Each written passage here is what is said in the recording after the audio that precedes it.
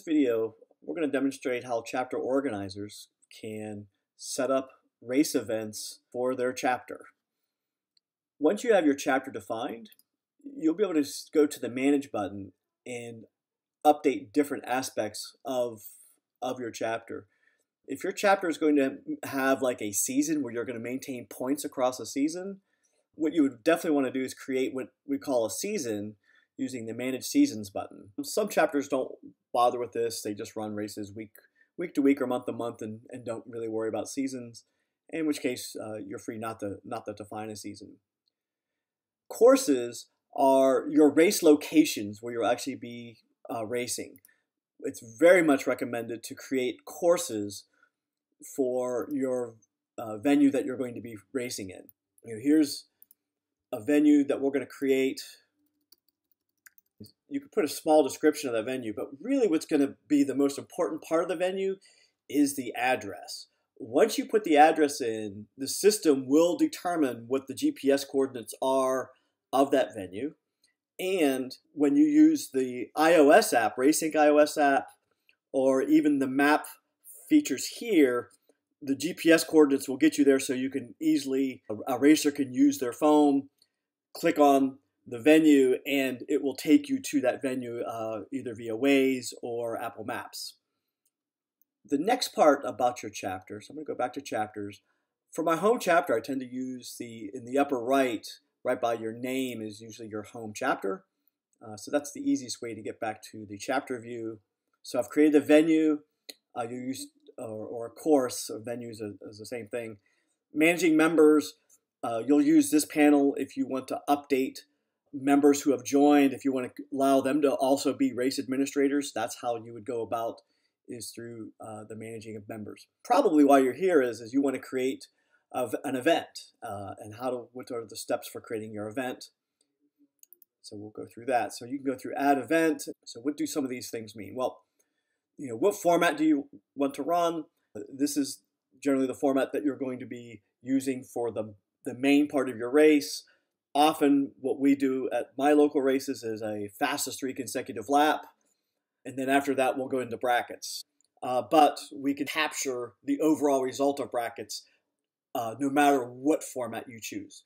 So, but the, I'm going to choose fastest three consecutive laps because uh, that'll come in handy for qualifying. You give it a name. Here's the name of this event. We're going to start it someday here in the future at 10 a.m.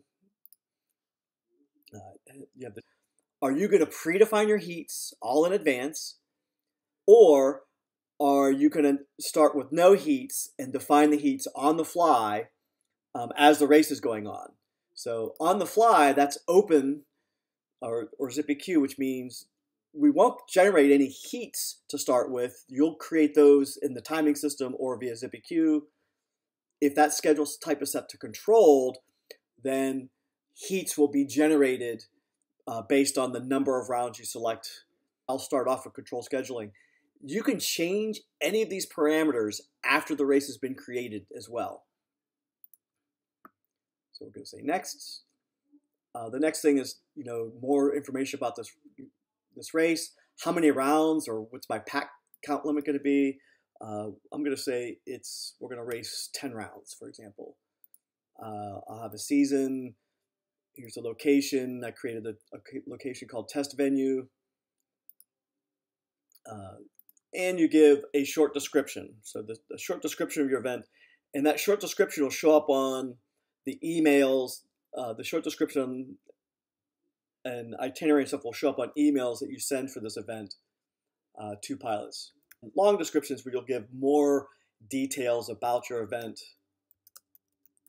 and the itinerary tends to be, you know, which is going to be your your day. You know, 9 a.m. is going to be, you know, set up.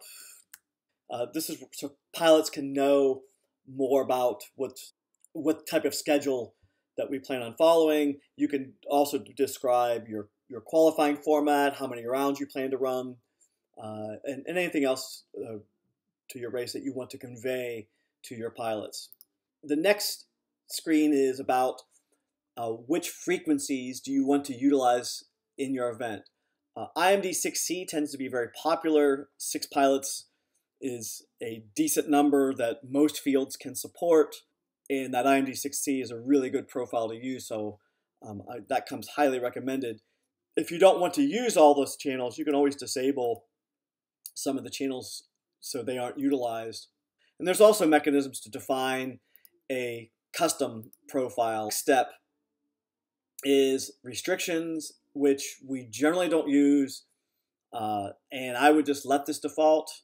This panel will probably be going away in the future as we move over to more class-based racing rather than uh, defining aircraft in this or aircraft restrictions in this type.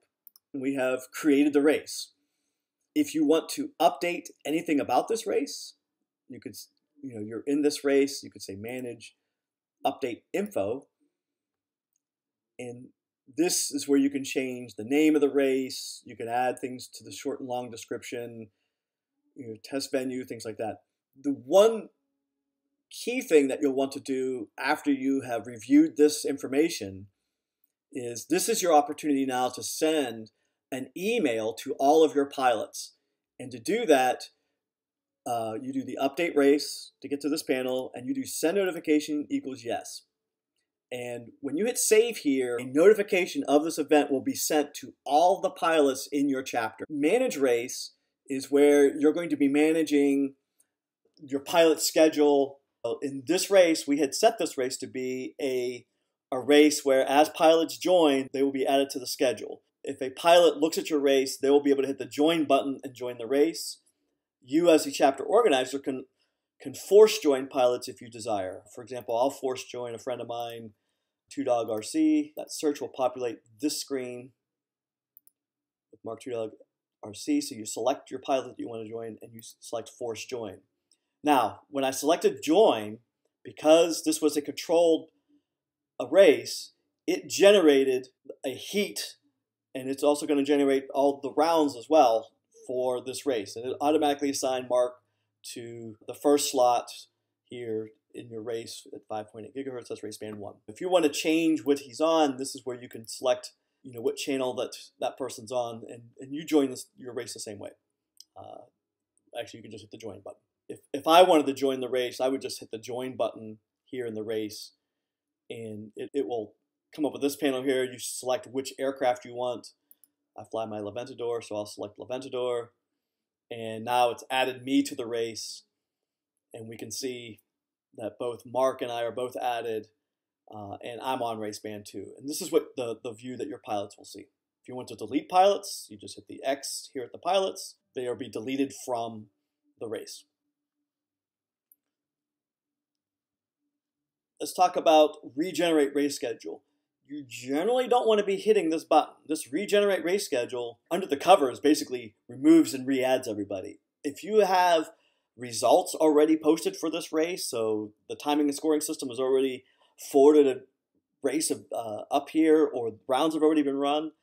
This will wipe all that data out. Uh, when you select regenerate your race, it says, "Hey, you know, pilots will be assigned in the new rounds. Make sure you're you're sure about that." The demo event. So if we look at load schedule, you'll see that it's already created 10 rounds for me with those pilots in each round. So as pilots join, it's automatically converted them into rounds. The other way to get to the manage race button is the gear symbol here by race schedule that will also go into manage race, that same panel. So it's just multiple ways to get to the same place. Once a race is completely finished, uh, you could do update scores and and here we have a mechanism called add overall results. Now this is new. Uh, say you, determine a final order for pilots. What you can do is you can say add overall results and you can it'll add slots for the number of pilots you have and you can select who was in first place, who was in second place, and so on. And it will assign points based on their position. Uh, the points are you have 10 people the winner gets 10 points, second place gets 9, third place gets 8, and so on. If once an overall result has been used, been added, that is how scoring will work. If we go back after adding the overall results, we can see here results are no longer showing the fastest three consecutive lap times. It's now going to show these points. If you want to revert back, just delete all the rows for the overall results. So if you delete all the rows, um, now it reverts back to the base for the event to fastest three consecutive laps in my case, um, which case I haven't run uh, that. In the LiveTime video, I'll demonstrate that showing up. That is going to complete managing and running a race in RaceSync.